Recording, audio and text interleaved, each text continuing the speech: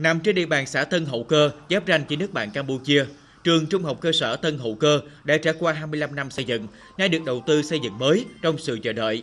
Với nguồn vốn hơn 32 tỷ đồng giai đoạn 1, ngôi trường mới hoàn thành sẽ gồm 20 phòng học khang trang và giải phòng chức năng, một bước tiến lớn so với trường cũ.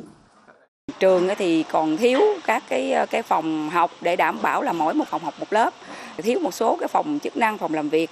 À, cho nên là chờ đợi thì cũng nhiều năm rồi. Là trường được uh, công nhận chuẩn quốc gia từ 2005 lần đó.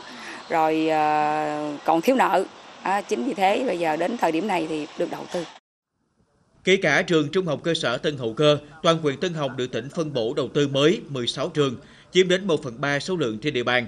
Với vốn đầu tư giai đoạn 1 khoảng 70 tỷ đồng. Ngoài ra còn có 12 điểm trường được cải tạo sửa chữa. Đây là đợt đầu tư có quy mô lớn nhất từ trước đến nay tại huyện. Nhiều trường xây dựng cùng lúc, do đó công tác quản lý nguồn giải ngân, giám sát xây dựng tại từng điểm được ngành giáo dục đặc biệt quan tâm.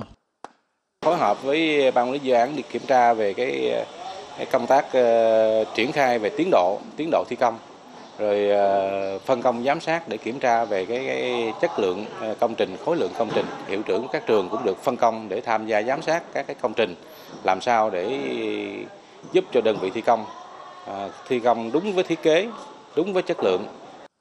Tầm 3 tuần nữa đến năm học mới, 3 trong tổng số 16 trường xây dựng mới tại huyện Tân Hồng sẽ kịp hoàn thành đưa vào sử dụng, còn lại sẽ dần hoàn thành vào năm sau. Rất là, là, là mong muốn cho một ngôi trường xanh sạch đẹp nó hoàn thành. Hiện tại thì bây giờ chưa hoàn thành nhưng mà thấy trang thiết thấy cơ sở vật chất làm nó thấy rất là quy mô, rất là là, là, là, là, là đẹp. Học hành là một con đường dâng lên, nhất là đối với thế hệ con em tại vùng nông thôn, vùng biên giới.